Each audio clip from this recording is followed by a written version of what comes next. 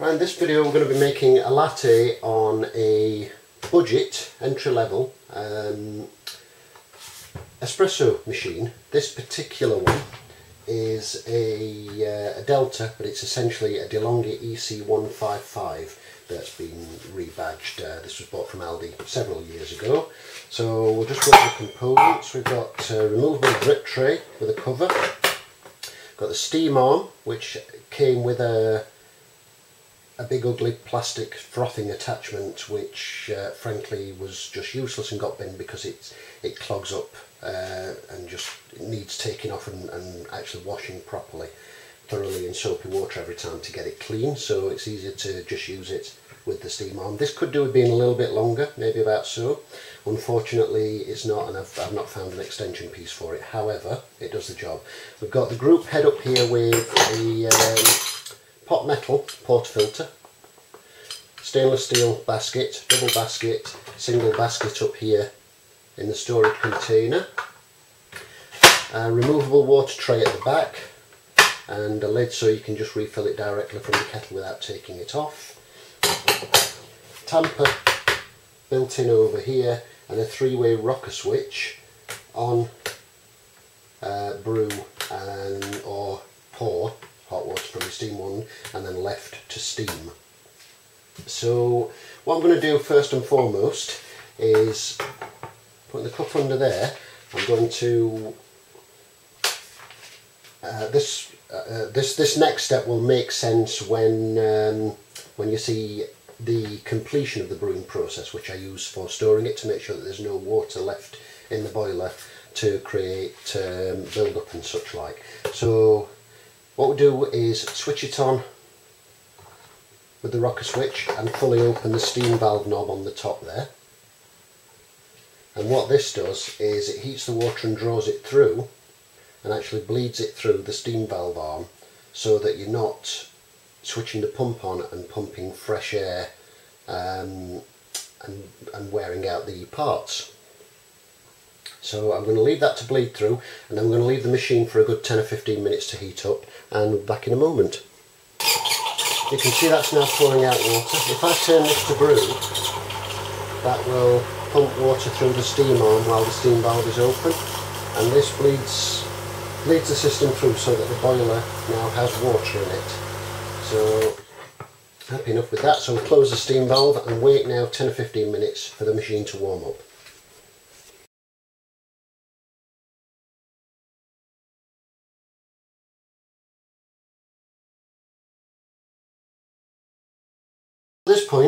I've just um, removed the portafilter and dosed that with 12 grams of freshly ground coffee ground in my Hario Slim mill uh, hand grinder. Um, you could probably squeeze about 14 grams in here. I dose with 12 because it works for me. And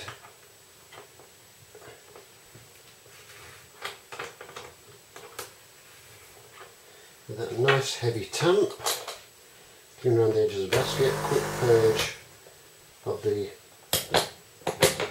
brew head and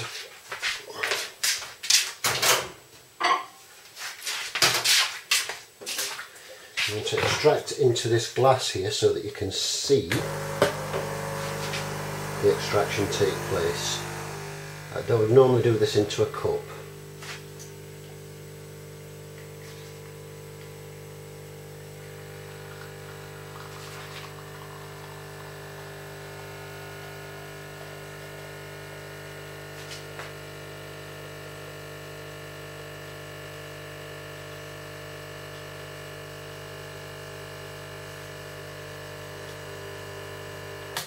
That's starting to blonde there, so flick that off. As you can see, we've got a really nice thick crema. I'm going to flick that over to steam, and we've got a milk pitcher here ready with um, milk filled up to the base of the spout here, and we're looking to stretch that by to about here or so. So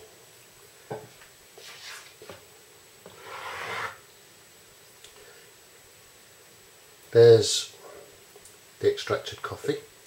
So the very, very nice thick crema on there. Now, there are people that are of the opinion that you should. Um, I, I, find this this actually transfers from brewing to steam pressure quite quickly. But there are people that are of the opinion that you should steam the milk first and then brew. And there are people you'll hear people say things like, "Oh, a, a, a shot of espresso expires after 20 seconds." Now, think about that logically. I mean, it's nonsense. Who on earth buys an espresso and drinks the thing in 20 seconds. And if you drink it after 20 seconds, do you notice a noticeable difference? No, because you've extracted the flavours into there. The only thing that does happen is the crema dissipates. So just purge the condensation out of there. And we're going to go ahead and steam the milk. So, submerge the wand completely.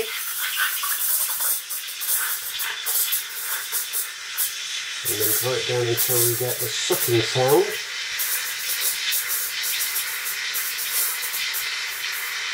Indicating it's pulling in air. As that gets up to about body temperature, submerge the tip of the wand, angled in such a manner that you're getting that uh, you're rolling the milk. Now I'm not promising latte art on this.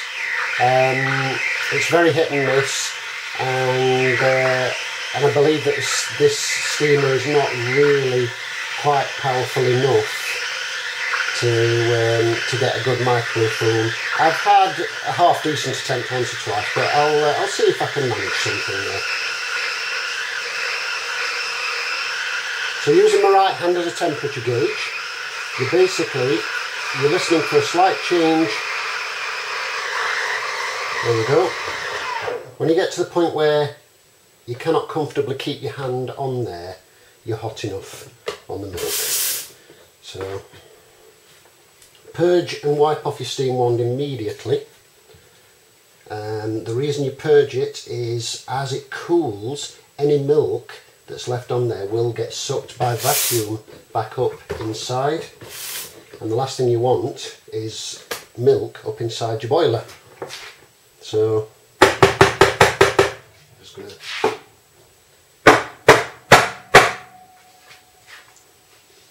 tap that over there so I don't break my stove top and I'm going to give this a good spin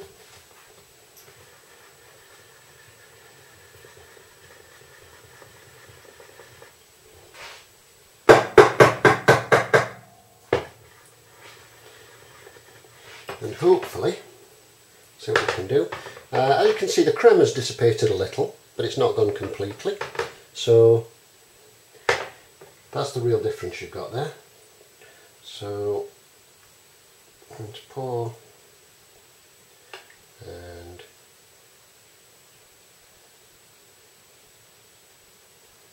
oh, there we go and we've managed a little heart hopefully you can see that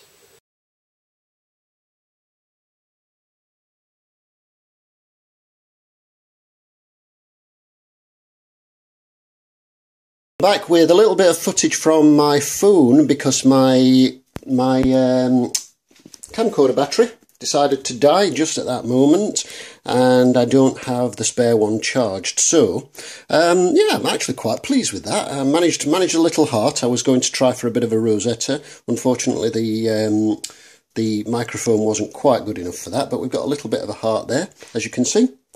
And a nice colour of the coffee there. So it's a double espresso shot, and then uh, we've got about two thirds of the quantity in, in steamed milk. And this is from a um, effectively a DeLonghi EC155. This is a Delta, which is this exact same machine in every specification.